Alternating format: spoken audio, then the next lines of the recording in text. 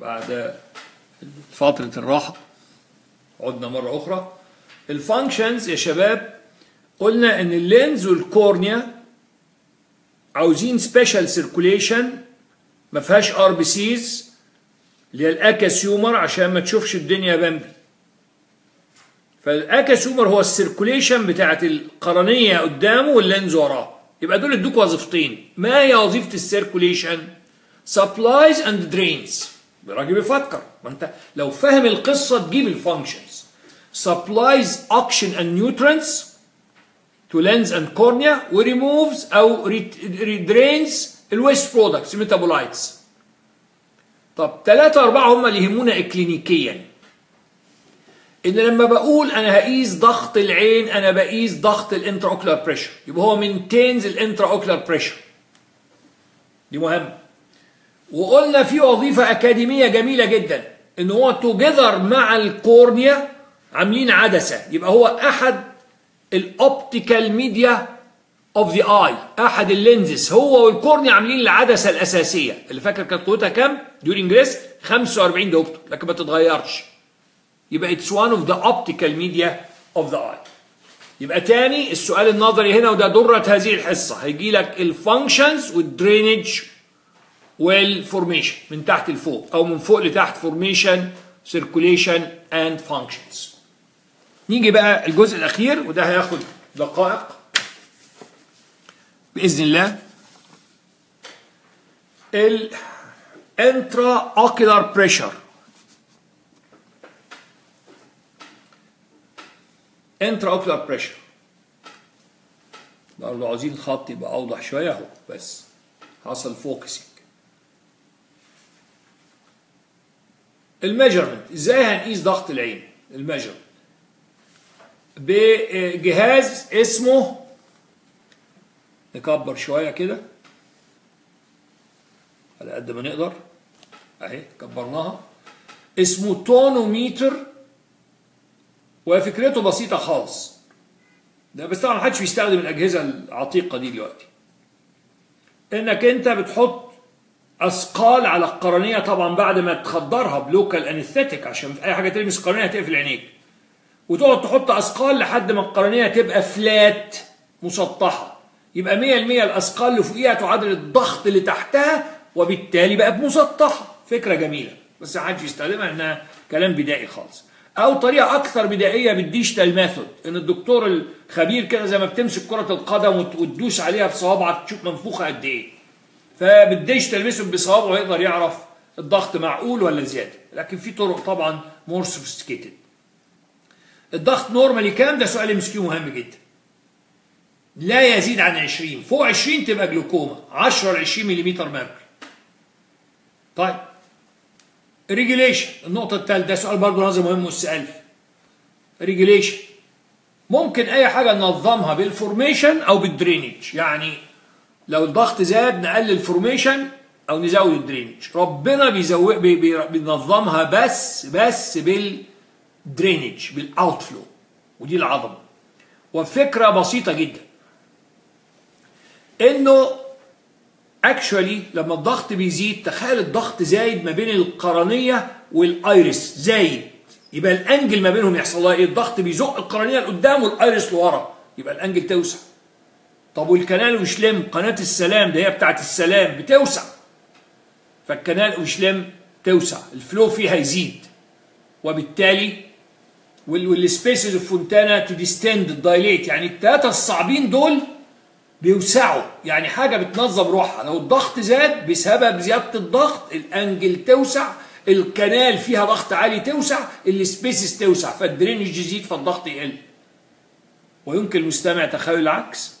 لو الضغط قل القناة تضيق ال angle تضيق ال spaces تضيق يبقى يحصل retention fluid الضغط يعلى تاني. شيء رائع. يعني المهم أهم حاجة في ال MCQ regulation عن طريق outflow not formation. نيجي ال function of intraocular pressure ال intraocular pressure ليه وظيفتين. واحد هو اللي بي maintain ال spheroidal shape of the eye وظيفة جمالية. هو اللي بيخلي العين شكلها مدور وحلو. كنت بتذكر في الليمبي اللي هو أول فيلم اشتهر فيه محمد سعد.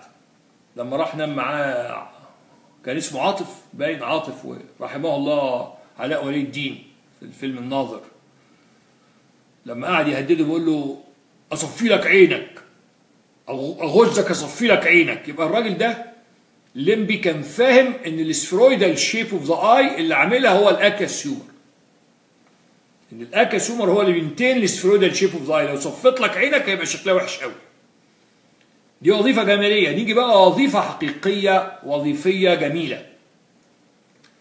إنه بيعمل two forces على ال lens يضعفوا ال lens فيخلوها لما الضغط بيزيد تناسب الرؤية البعيدة. واحد بي exert pressure force أهي. الضغط لما يزيد بيخلي ال lens more flat يعني أقل تحدبا طب ده يناسب ال far vision. ليه فكر لأن الجسم القريب جاية تخيل معايا جاية الأشعة منه تعالى أوريها لك بنفسي. الجسم القريب جاية الأشعة منه متفرقة. يبقى عاوزين عدسة قوية عشان تجمع. الجسم القريب بيطلع أشعة متفرقة عاوزين عدسة قوية عشان تجمع يبقى عدسة أكثر تحدبا. بالعكس في البعيد الأشعة بتيجي متوازية. يبقى عاوزة تجميع خفيف لأنها متوازية مش جاية متفرقة جاية متوازية. يبقى عاوزين عدسة أضعف يبقى عاوزين عدسة more flat اقولها بطريقه سهلة. الاف مع الاف الفلات لينز تناسب الفار فيجن الفلات فار الفلات فار اوعى تنساها اهو. الأكثر تحدبا هي الرؤية القريبة. فدلوقتي انت عندك لما الضغط يزيد تخيل بيزيد يبقى يخلي ال lens more flat more flat. نمرة اتنين ده ال ciliary ده ال ring اللي هي ال ciliary وماسكة بالأهداف دي. تخيل زي بطيخة كده وفي في فتل كده أو بالونة وفي فتلتين. لما تشد الفتلتين دول تصبح more flat.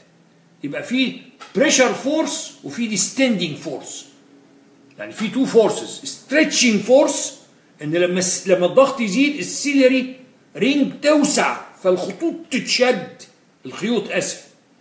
فال lens يحصل لها stretch بدل ما هي مدورة كده لما الجوانب ت stretch تبقى more flat زائد ال pressure هنا بيخليها more flat فتناسب الرؤية البعيدة.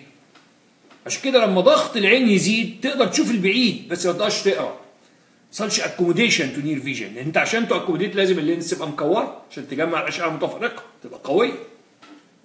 يبقى في two forces أهي ال lens تدوس عليها كده تخليها flat يبقى دي اسمها pressure force وتخيل كورة وفي فتلتين وهشدهم كده يبقى الكورة تبقى more flat يبقى ده stretching force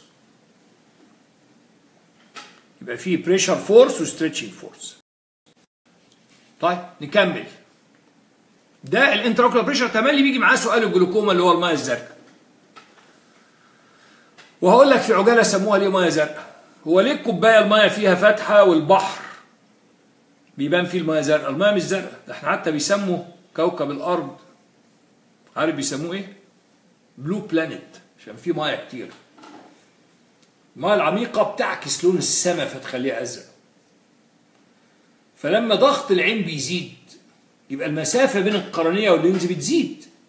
صح؟ ما الضغط زاد. فلو بصيت للشخص ده من الجنب كده جوه عينه يجي لك إحساس إن في blue tinge يعني في شوية زرقان. هو الزرقان ده عاكس لون الإيه؟ السما. عشان كده سموها الميه الزرقاء كانت هذه فقرة المعلومات العامة. المهم قلت لك إن الجلوكوما دي leading cause of blindness. By definition. ال ocular pressure أكتر من 21 ملم mercury إحنا قلنا هو من 10 ل 20 فوق 20 يبقى أنت عندك جلوكوما. بتذكر رقم 20 ده كويس قوي قوي طب ال cause إحنا قلنا هي كان بيتنظم بال formation ولا بال drainage ربنا بينظمهم بين إزاي؟ I think بال outflow اهي بال drainage يبقى 100% ليه الضغط زاد؟ حصل obstruction في ال outflow غالبا بيبقى في ال trabecular spaces شوية التهاب في خلايا و fibrosis قفلها. اهي. طب إيه ال effects قلت ده ال leading cause of blindness blindness لأنه زيادة ضغط العين هيضغط على ال lens وال lens وراها تضغط على ال vitreous humor السائل الزجاجي ورا تروح ضغط على الريتنا تقلل البلاد سبلاي بتاع الريتنا فالريتنا تضمر. blindness سموه حتى سارق البصر لأن الجلوكوما ممكن تحصل acute glaucoma فجأة الضغط يزيد دي هتحس بيها تجيب لك صداع ودي حلوة تبقى تنبهتك. لكن ساعات بتحصل chronic glaucoma يعني شوية شوية فتبص تلاقي إنك أنت فجأة اللي بيتأثر في ال retina. تخيل إن ال retina ربنا عامل حاجة رائعة. أحب أفهمها لك بس مش عليك. من جمال الخلق والله. إن ال retina ال blood supply بتاعها طالع من النص كده وماشية ال vessels على ال periphery يعني أول حتة تتغذى ال center بتاع ال retina وبعدين ال periphery فلو في ضغط على ال vessel ال vessel فيه عليه ضغط. مين أول واحد يتأثر؟ أبعد واحد. لما تضغط هنا أكتر واحد يتأثر البعيد خالص اللي في آخر الماسورة هو اللي يتأثر. فعشان كده ال retina لما لما بتبوظ بتبوظ من ال periphery لل center وده قصد إلهي يدل إن وراء الخلق خالق. ما عليناش الكلام ده. يبقى تبص لا يحصل concentric diminution of vision يعني أول بصر يروح اللي هو في ال most periphery ثم اللي بعديه ثم اللي بعديه. واخر واحد يروح اللي في ال center لأن ربنا مطلع ال vessels في ال center. فأكتر حتة عن فرصتها حلوة اللي في ال center. أبعد واحدة هي اللي بتبقى فرصتها أقل. وطبعا إن إحنا أحسن حاجة ال fovea centralis. فلو إن الجلوكوما gradual يعني زياده في الضغط حصلت رويدا رويدا أول حتة تضيع ال periphery فممكن ما لاحظش خالص عشان كده يسموا جلوكوما سارق البصر. أبقى أنا قاعد معاك وبقول لك فين فلان؟ تقول لي فين فلان؟ ما هو قاعد على الجنب اهو. آه تصور أنا الوحيد اللي مش شايفه. كل الناس اللي قاعدة شايفه على الجنب لأن أنا فقدت ال peripheral part of vision عشان كده سموها سارق البصر. يبقى دي حتة اعتبرها معلومات عامة. هم لا يعرفوها ولا يسألوك فيها. إن ال blood vessel بتاعت ال retina طالعة من ال center وتغذي من ال center الأول ثم ال periphery يبقى ما تضغط عليها أول حتة تتأثر ال periphery وآخر حتة ال center وده يدل على إنه وراء الخلق خالق. يسموها concentric diminution of vision. يعني نقص ال vision بيحدث بطريقة دائرية بادئ من من بره لجوه. في العظمة عشان آخر حتة تتأثر fovea centralis. المهم ده ال leading cause of blindness يا أولاد. فلو حصل acute حلو الواحد يجي له صداع headache يتنبه. لكن لو حصل gradual يلاقي البصر نصه راح وهو لا واخد باله. وعلى فكرة في نوع من الجلوكوما بس مش عليكم اسمه open angle جلوكوما إحنا قلنا ان ان ان, إن سبب الجلوكوما أساسا القفل لا ساعات بيحصل open angle جلوكوما وال angle طيب ثالث حاجة severe pain قلنا headache يبقى قلنا blindness آسف وبعدين headache قلناها نمرة اثنين وقلت لكم من شوية إن لما الضغط يزيد ال lens فكر معايا هتبقى flat ولا هتبقى spherical لما ضغط عليها الكورة تبقى flat تبقى تناسب إيه؟ أنا سامعك ال far vision flat تناسب ال far طب تيجي تقرأ مش عارف تكورها يبقى failure accommodation يعني ما انتش for near vision مش قادر ت accommodate لأن ما تعرفش تقرأ. يبقى دي الثلاث عيوب تحفظها صم blindness دي أهم واحدة. حتى قلتها لك بالظبط إزاي concentric diminution of vision ثم failure to accommodate to vision ثم severe pain headache لو كانت acute جلوكوما لأن في ال chronic ما بيحصلش كده يا شباب. طيب نيجي لل treatment بقى. إحنا ربنا بينظمها عن طريق ال drainage بس، إحنا لأ. إحنا هنقلل ال formation نستخدم كل الوسائل ونزود ال drainage عشان نصلح الخطأ. نقلل ال formation فاكر كنت قلت لك في ال formation في انزيم مهم لعمل aqueous humor أو اتنين. sodium potassium ATPase ومين التاني؟ قول لي كده. carbonic anhydrase إيه رأيك نأثر على أيهما وليه؟ لناس فاهمة. نأثر على ال carbonic anhydrase بعقار ندي carbonic anhydrase inhibitor اسمه Diamox العيان اللي عنده جلوكوما يبقى فيه في جيبه قطرة كده يقطر كل شوية. تسأله بتقطر إيه؟ قطرة بتاعت الجلوكوما. تبقى أنت عارف دي carbonic anhydrase inhibitor Diamox كل شوية كده كل نص ساعة ولا حاجة ولا ساعتين حسب بقى الخطورة الحالة يحط قطرة عشان يقلل ال formation طب تاني قطرة بتزود ال drainage إزاي نزود ال drainage إن العيان اللي عنده جلوكوما يحرص إن يبقى عنده pupillo constriction حدقه تبقى ضيقة قوي. لأنه لو الحدث الحدقة اتسعت معناها إيه؟ عارف زي أنا بتشبه ال iris ده زي ضلفتي ستاره أنت عشان لما تقفل ستاره بتبقى ستاره مشدودة من الضلفتين ومقفولة. لكن لو حاولت تفتح ستاره إيه اللي بيحصل؟ بتزق الضلفه دي يمين والضلفه دي شمال. الضلفه دي بتكلكع في الآخر تبقى مكلكعة تسد ال angle. عشان كده إحنا مش عاوزين عيان الجلوكوما يبقى عنده pupillo dilatation لأن لو ال iris فتح هيكلكع عند ال angle يقفلها. عاوزين تملي الستارة ضلفتين هيبقوا مقفولين. فال angle في في النهاية تفضل مفتوحة. فبنحط له pupillo constrictor يبقى parasympathomimetic حاجة تشغل para هي اللي بتعمل pupillo constriction أو miosis حتى علمتكم كلمة miosis جابوها منين؟ mio يعني صغير. مش في ميكروب مايكروباس عكسها mydriasis اللي تسع عشان ما تلخبطهمش. في دكاترة كتير بيلخبطوهم. mio صغير هي ال pupillary constriction mydriasis لما يكبر يبقى يحط قطره parasympathomimetic تعمل pupillary constriction أو miosis يقفل الستارة. فما آه ال iris هتبقى ضيقة ال pupil آه بس بس مش متجمعة هناك عند ال angle لكن لو فتحت ال iris زي كأنك فتحت ضلفتي الستارة ال- اتكلكعوا الضلفتين عند الجانبين عند ال two angles قفلوهم. يبقى عيان الجلوكوما معاه قطرتين يا شباب. قطرة Diamox carbonic anhydrase inhibitor تمنع ال formation وقطرة pilocarpine parasympathomimetic تعمل pupillary constriction تزود ال drainage. وطبعا ممكن نعمل surgical treatment نفتح ال angle surgically أو في حاجة تاني بس مش علينا. عارف ال drill؟ شنيور. عندنا شنيور كده ال- ال- ال- ال- السلاح بتاعه يعني لا يرى. نفتح في ال cornea في ال periphery بتاع ال cornea خروم صغيرة كده يتدفق منها السوائل الزيادة في ال aqueous humor وتختلط بال tears وتمتص معاها بس ما عندناش كامل. هو عندكم by opening of trabecular spaces بس في يعني عديد من العمليات أنا ما بشرحش رمد دلوقتي بس بوسع مداركك. يبقى ده الجلوكوما يبقى نقولها تاني في عجالة إمتى عندك جلوكوما لو الضغط فوق 20 ملم mercury 21 ربنا بينظمها عن طريق ال outflow يبقى أهم سبب ليها ال obstruction ال outflow طيب النقطة الثالثة إيه ال effects؟ أهم حاجة blindness ثم blindness ثم blindness وأنتم فاهمين إنها concentric diminution of vision. وبعدين قلنا لما العدسة تبقى flat من كتر الضغط عليها بقت flat تناسب ال far vision يبقى ما فيش accommodation near vision ومن كتر ضغط العين ما زايد زايد لو كان acute يبقى عندي severe pain و headache. طب نعالجها إزاي؟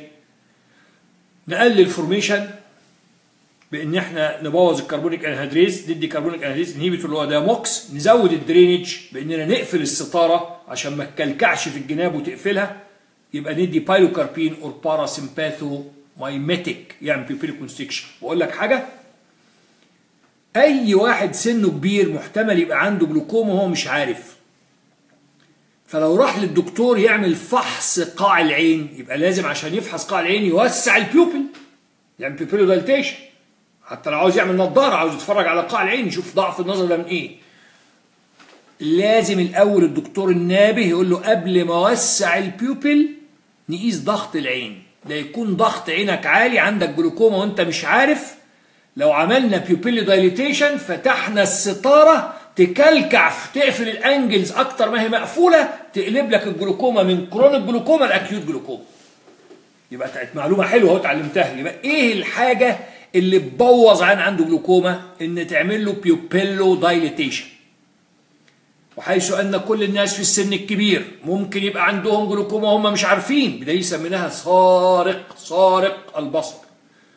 لازم قبل ما نفحص قاع العين ونعمل pupillo dilatation لأن ال pupillo dilatation هيفتح ال iris يخليها تتكلكع عند ال angle سدها لازم نقيس ضغط العين. معلومة مقيمة جدا برغم إنها مش عليك لكن عاوزين نعلم دكاترة صح. عيان كبير ما نعملوش ابدا توسيع في الحدقة قبل ما نقيس ضغط العين توسيع الحدقة هيسد ال angle. لو هي already مسدوده هتسد أكتر ده بالعكس اللي عنده جلوكوما بنعمل له pupillo constriction بنقفل الستارة عشان ما تكلكعش عند الجوانب. ثم surgical treatment بشكركم يا شباب على إنكم إديتوني وقتكم وهو زي ما بقول وقت أكثر شيء قيم يمتلكه الإنسان. وأرجو إن إحنا نكون نجحنا في استثماره الاستثمار الأمثل. وبأشكر كل واحد بيكتب لي تعليق جميل الحقيقة وكان نفسي أقدر أرد عليكم واحد واحد بس طبعا هسيب اللي بقوله وأقعد أرد على كل واحد بيكتب. أنا بشكركم في مجموعكم ولكن أعتبروا إن أنا بشكركم واحد واحد. فالكلمات الجميلة اللي بتكتبوها دي يعني it's fuel يعني وقود بيديني نشاط أكثر ويخليني أكثر حماسا. شكرا على وقتكم وشكرا على كل حاجة وفي الآخر بطلب منكم حاجة بسيطة. إن أنا هشتغل CNS بإذن الله و endocrine لأن عارف إن في كل الجامعات تقريبا في الترم الأول هو ده اللي مطلوب لطلبة الفرقة الثانية. لكن أنا ما أعرفش في بعض الجامعات مطلوب منهم special sense البعض الآخر مطلوب منهم kidney البعض الآخر مطلوب منهم دايجيشن فيا ريت على صفحة الأسئلة اللي اللي موجودة دلوقتي على الفيسبوك هسيبها لمدة ساعة. وكل واحد يكتب لي الجامعة اسم الجامعة وكلمة واحدة بس. هل بياخدوا هياخدوا في الترم الأول special sense ولا kidney ولا دايجيشن عشان أنا يعني هقدر أغطي يعني الحاجة اللي تفيد الأغلب. أغطيها في الترم الثاني بإذن الله. بس عشان نبتدي بالحاجة اللي هي بتدرس أكثر. فعندك لمدة ساعة الصفحة السابقة بتاعتي هسيبها ساعة اكتب لي الجامعة وأنا عارف إن في CNS endocrine ما تكتبهمش ما تضيعش وقتك. اكتب لي يا special sense حسب جامعتك يا kidney يا دايجيشن ولم يبقى إلا الدعاء بالتوفيق. وفقكم الله. ألقاكم على خير بإذن الله.